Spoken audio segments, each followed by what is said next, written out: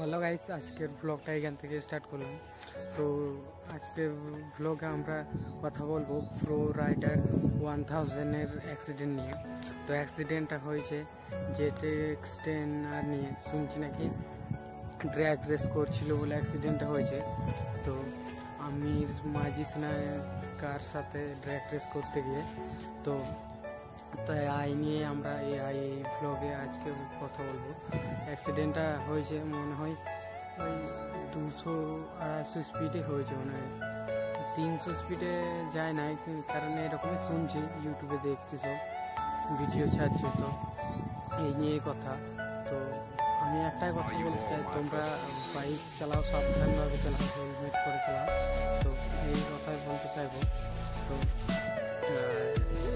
আমাদেরকে সাপোর্ট করো। যা, তোমরা খালি ওই বাইকারদেরকে সাপোর্ট করছ খালি। তো চলো, তো প্রো রাইডার ওয়ান থাউজেন্ড মাথায় আঘাতের কারণে মানে মরে গেল। তো, আমি বলব, তোমরা যখনই বাইক চালাবে হেলমেট পরেই চালাবে, তো সাবধানভাবে চালাবে। আর আই মানে আর কি, কী বলে ওইটা? মেনে গাড়িটা সাবধানভাবে চালাবে। তো এই ব্লগে এইটুকুই। নেক্সট ব্লগে আবার তোমাদের সাথে দেখা হচ্ছে তো চলো এই ব্লগে এইটুকু আর যারা আমার চ্যানেলটা সাবস্ক্রাইব করে না সাবস্ক্রাইব করে দিয়ে চলো চলো টাটা और वो जो लाल वाला बटन है उसमें भूकंप लेके आओ या फिर भूचाल मुझे नहीं पता बस क्लिक हो जाना चाहिए